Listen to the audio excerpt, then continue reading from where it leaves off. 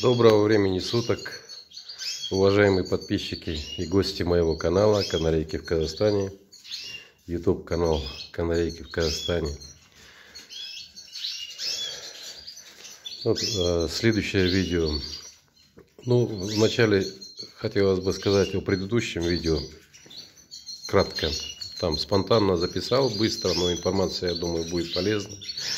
Э, сейчас вот ребята в группе пишут, что Цепи и так, э, панцирь каракатицы и так, она дорогая. Сейчас она действительно дорогая, она везде дорогая. Я заказывал ее партию оптом. Почему э, снял это видео? Потому что начинающие э, тратятся, покупают эту цепью. Она действительно очень нужна. Очень нужна, но как вы видите, я не говорю, что ее не надо вешать. Вешайте, но вы убедитесь, что птица не вся ест ее. Там в вольере у меня висит, она уже, по-моему, вот там самочки, которым необходим всегда кальций, да?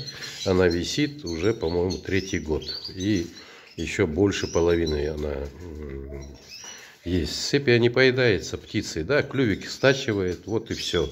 Вся польза там иногда можно вешать. А ее в данном случае у меня э, очень много. Она может висеть годами.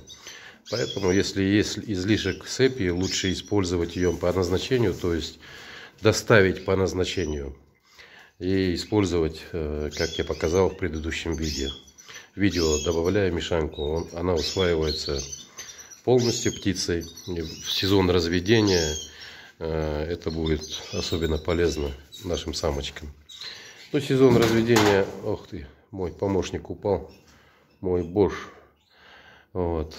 Сезон разведения в нашем хозяйстве продолжается, то есть э, вновь прибывшая птица, отдохнувшая птица. Где-то птенцы, где-то на яйцах. Сегодня я останавливаться на этом не буду.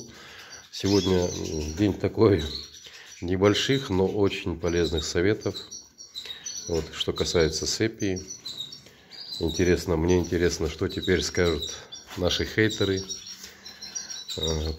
И второй, э, не менее нужный совет, э, наглядное пособие, так скажем, о котором вы нигде не прочитаете, ни в одной литературе. И я не знаю, видео есть на, на просторах инета или нету, но э, начинающие точно о нем не знают.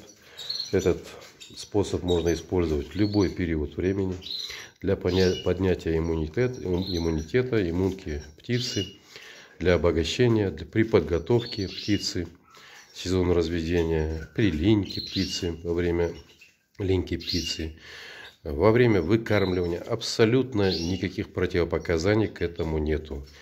Речь идет об обычном чесноке, друзья мои. Обычный чеснок. Вот мы его заготовили, то есть я заготовил для наглядного пособия. Там нарезал кубики произвольно, там как на четвертинки. На... Это один зубчик чеснока, где-то на 6 долек покромсал, прокромсал. Это поилка. Поилки могут быть разные. Никаких противопоказаний нету к этому. Я уверяю вас, это все из личного опыта. Вот вечером, перед тем, как птицу уложить спать, то есть выключить свет, там, ложиться спать, да, э, времени у всех по-разному. Вы снимаете все поилки, соответственно, промыли их, почистили, налили свежую отстойную воду, не из-под крана, еще раз повторяюсь, не хлорированную. У меня отстоянная вода всегда в баклажках. Вот. И вы видите, я положил сюда зубчик, э, дольку чеснока. Все, вот перевернули, она в перевернутом состоянии. Так, в ряд. Я не стал пока снимать, еще рано у нас. Э, это просто на примере я снял у одной самочки. Вот. И перевернули, все, она до утра стоит, настаивается. Не надо его крошить там на мелкие частицы. Все, вот он, эта долька чеснока, она здесь находится э, до утра.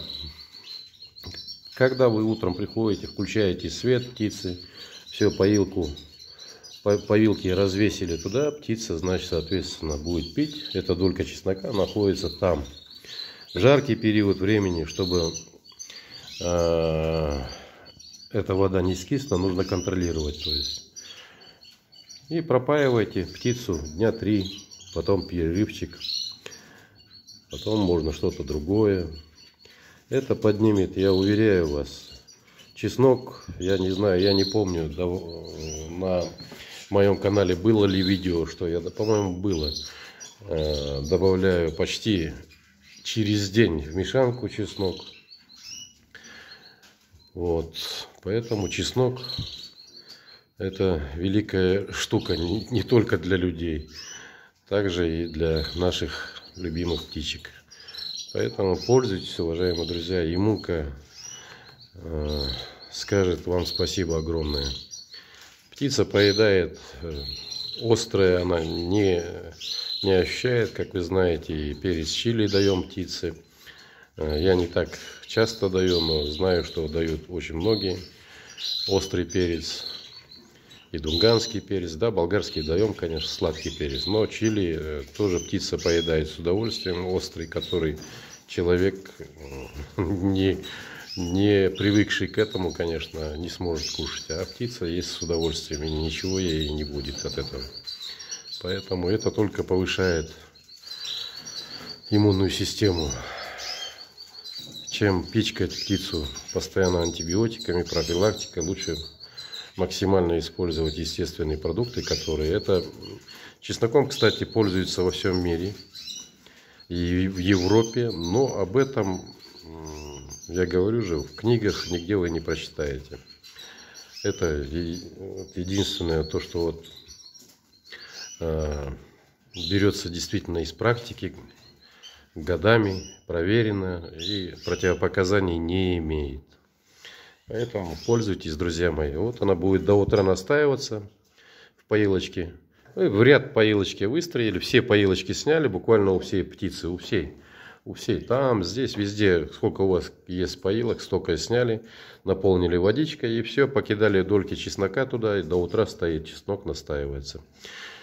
Если нет таких поилок, то есть которые переворачиваются, стоят, да, есть такие поилки, которые не стоят э, на кверх тормашками вот, стоячим. Значит, берете любую тару, там лит, литр, литровую баклажку, баночку. Также измельчили вот э, на 6 долек, там на 7, сколько, на 8, 2, 2, 2 зубчика, сколько у вас птицы. В зависимости от сколько у вас птицы. Вот, значит, закинули туда в эту воду, в эту емкость с водой э, чеснок. чеснок. Также до утра настаивается. Утром, прежде чем налить, чуть-чуть сболтали, разлили по поилкам и все. Без проблем. Просто здесь в чем преимущество? Потому что в процессе, пока стоит э, поилка, висит значит, на, на клетке или там на боксе, зубчик чеснока там еще находится, и он продолжает работать. Вот в этом вся суть. Разница только лишь в этом. Вот, поэтому Поилки также можете в своей поилочке утром закинуть по э, дольке чеснока.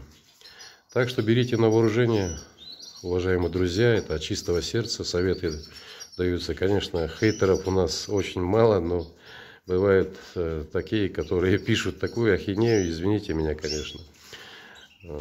Даже акцентировать не хочется на этом и не акцентируешь. Ну, смешно просто доходит до иногда до смешного, когда начинают писать ахинею всякую. Поэтому от чистого сердца, без, без преувеличения, без всякой выгоды, чисто от чистого сердца.